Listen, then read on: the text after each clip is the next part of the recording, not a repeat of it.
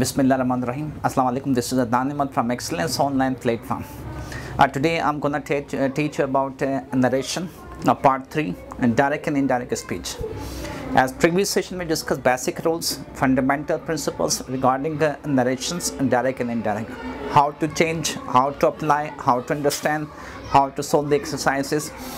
Whether you are from uh, 9th, 10th, first or second year graduate, uh, from different school of thoughts, we will discuss this. yes, class. Uh, today we are discussing interrogative uh, sentences. And interrogative sentence, we have two types of sentences. Interrogative question, we have two. One is confirmative, in which we have yes or no answer. It starts from uh, the helping uh, the helping verbs, in which we have confirm, confirmation. Are you a scientist? Yes, I am. No, I am. Uh, will you attend seminar? Yes, I will or I will not. These kind of sentences, these kind of questions, uh, we uh, name them as uh, confirmative questions. We have another type of question, uh, informative question, in which you have nine WH words: how, what, where, whose, whom, and more. What's your name? How will you get success? When will you get up early in the morning? These kind of questions. We say wh question in which we do not have yes or no answer. Uh, we have uh, uh, information we will reply we will uh, uh, give a relevant answer. So today uh, we are going to discuss about interrogative sentences or interrogative questions in narration as you can see here how to change these we have got some rules. She said to him will you attend seminar today? She said to him uh, will you attend seminar today? So first we will recognize will you attend seminar today? It start from a will helping verb. Uh, we do not have wh words. Uh, we we don't have uh, what where whose whom why how. We uh, this start from a, will from helping verb auxiliary verbs.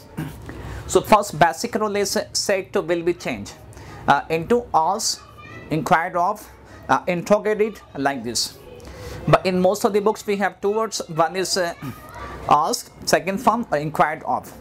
Beside these words we can use many more words. Uh, questions uh, interrogated inquired of asked these. She said to him uh, will you attend seminar today? She said to him uh, we have a interrogative sentence interrogative question. So said to will be changed into asked she asked him uh, we have confirmative question. For confirmative, uh, when we join two sentences, uh, we do not use that, we use if or whether. So for joining two clauses, we have if or whether. She said to him, she asked him if. you is second person pronoun, right? Second person will be changed according to the object of the sentence, object of reporting speech. Here, object is him. She said to him, she asked him if or whether uh, interrogative we will convert into affirmative sentence in affirmative subject will be in the starting. Uh, you we will take first. You will be to, to object him. Uh, she said to him she asked him if uh, he uh, would attend seminar that day. Uh, will and today we will change. Uh, will would today that day. I'm repeating.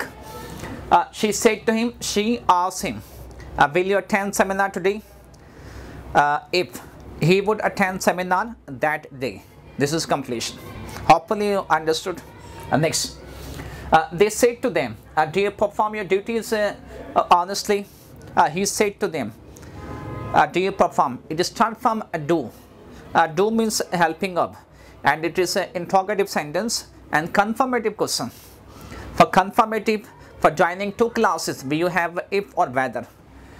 they said to them, they asked them, if uh, you uh, this is the interrogative we will convert into affirmative. You is subject we will take first. You second person pronoun we will change into object. Uh, they said to them they asked them uh, do you uh, if uh, they perform their duties honestly. They said to them they asked them if they performed their duties honestly. This is right answer. Second we have uh, he said to them, have you done your assignment? He said to them, have you done the assignment? This uh, we have.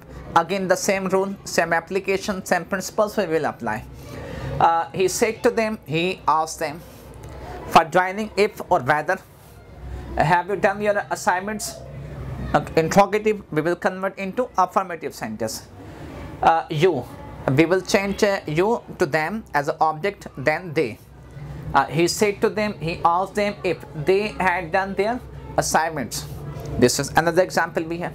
So hopefully you are getting remaining are your assignments you can do at home. So follow uh, some rules and principles of narrations. When we have interrogative sentences so first is said to will be changed into asked inquired of interrogative or question. Uh, second for joining two clauses uh, reporting speech and reported speech uh, we do not use uh, that rather that we use uh, if or whether. Then we have some principles we discussed in the previous rules in the uh, previous classes. Uh, today that day yesterday the uh, day before and tenses will be changed. First person second person we will change. This is all about interrogative sentence for interrogative sentences we have two kinds of sentences uh, two kinds of questions. One is uh, confirmative second is informative. So it was all about confirmative. We will discuss second. Of uh, uh, interrogative sentence informative question. Number second we have a, interrogative question. We have two types. One is confirmative second is informative. Uh, informative means uh, we have wh words uh, we have nine wh words. When we ask question we use these wh words for communication for interrogation. So here is uh, uh, she said to him when will you attend seminar today? She said to him first is uh, we have two speeches reporting speech and reported speech. At the end of the speech we have question mark interrogative sentence. Uh, the question start from wh words when when means informative. We will not use uh, if or whether for joining two classes. She said to him she asked him. She inquired him. She interrogated him. Uh, she questions him. Uh, G. Uh, we will not use that even we will not use uh, if or whether. When remain same. All wh words whether when where how what how, uh, and other wh words. Uh, we will not change they will be same. Second is will you attend seminar today? Uh, you is a subject we will uh, put in before uh, the will. Uh, when uh, you will be changed according to the object. He when he would attend seminar that day. I'm repeating revising try to understand. Uh, she said to him she asked him no whether no if no that when wh word same position as a conjunction we are using.